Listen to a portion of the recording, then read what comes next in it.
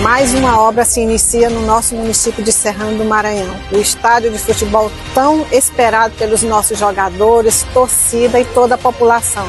E eu quero agradecer imensamente ao nosso deputado Cláudio Cunha por se empenhar por mais essa obra, ao secretário de Assuntos Municipais Orleães e também ao nosso governador Carlos Brandão, que prometeu e cumpriu. Então, em breve, nós vamos estar inaugurando essa grande obra com toda uma grande festa para todos vocês. A gente fica muito agradecido por, por essa obra que está acontecendo em São do Maranhão, que há muitos anos nós esperávamos e nunca tinha acontecido. Então hoje é uma realidade, porque o nosso deputado e a nossa prefeita conseguiu esse grande objetivo, esse grande projeto. E estamos de parabéns todos que fazem parte do esporte e a população de Serrano em geral. O sonho que nós tínhamos aqui em Serrano do Maranhão, trazer um deputado para cá, Cláudio Cunha, nós somos gratos a ele e hoje nós estamos satisfeitos.